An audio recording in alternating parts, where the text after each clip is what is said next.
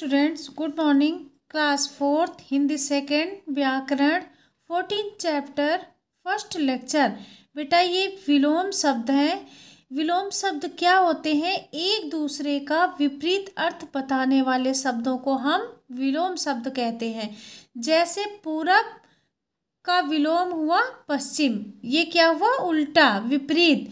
तो इसकी पूरब की विपरीत दिशा बेटा क्या है? पश्चिम।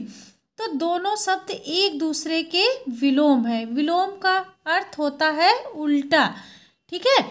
उसको हम विलोम कहते हैं। तो चलिए कुछ विलोम शब्द पढ़ते हैं और आपको याद करना है। जैसे छोटा छोटा का विलोम क्या होता है बेटा? बड़ा। एक एक का विलोम अनेक।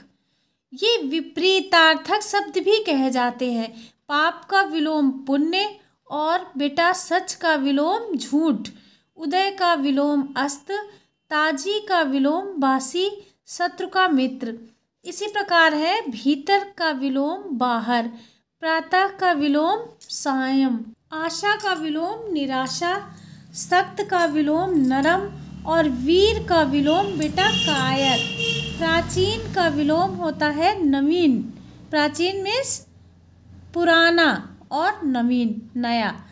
तीव्र का मंद और पाना पाना क्या होता है? कोई चीज़ मिलना। जैसे किसी को कोई चीज़ मिली तो वो क्या होता है बेटा? पाना। तो पाना का उल्टा क्या हुआ? खोना विपरीतार्थक शब्द। ज्ञान का विलोम अज्ञान। ज्ञान किसे कहते हैं? जिसके अंदर बहुत ज्ञान हो, बुद्धि हो तो अज्ञान, जिसको कुछ ना आता हो। और अंधेरा। अंधेरा जहाँ पे कुछ दिखाई ना देता हो बेटा, उसको क्या कहते हैं? अंधेरा। तो अंधेरा का विलोम क्या होता है? उजाला। रोशनी हो जहाँ पे, उसको क्या कहते हैं? उजाला। लंबा का विलोम छोटा। जो छोटा व्यक्ति होता, हम लोग क्या कहते हैं उसको? बौना। छोटा, बौना। खिलना का मुरझाना। तो ये विलोम शब्द आप लोग पढ़ रहे हो। खिलना का मुरझाना, काला का सफ़ेद और बदबू खुशबू पूर्ण का अपूर्ण।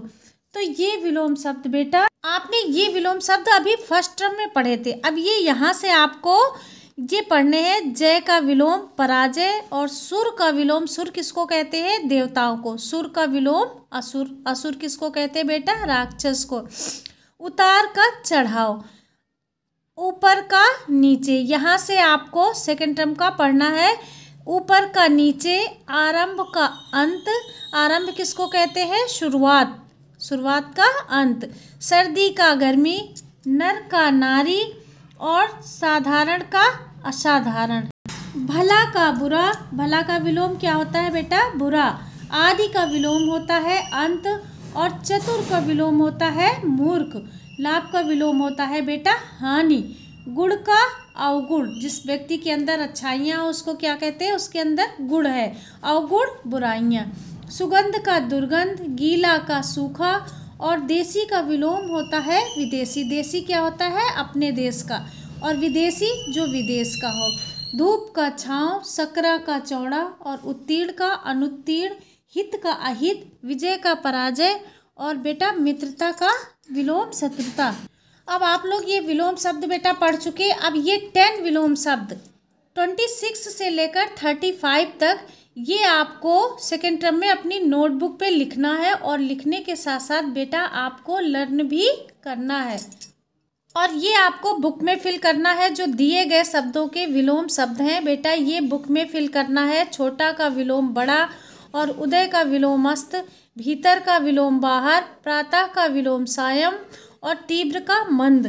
इसी प्रकार इधर है, उतार का विलोम चढ़ाव, आरंभ का विलोम अंत, और बेटा भला का विलोम विलोम बुरा, और सुगंध का विलोम दुर्गंध, सकरा का विलोम चौड़ा। ठीक है?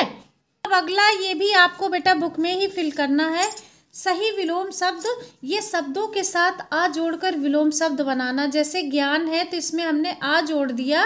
तो अज्ञान हो गया। हिंसा है, इसमें आ जोड़ दिया बेटा तो क्या बन गया? अहिंसा। कुशल में आ जोड़ दिया तो अकुशल। साधारण में आ जोड़ दिया तो असाधारण। ये सारे आ जोड़कर बनाने हैं शब्द।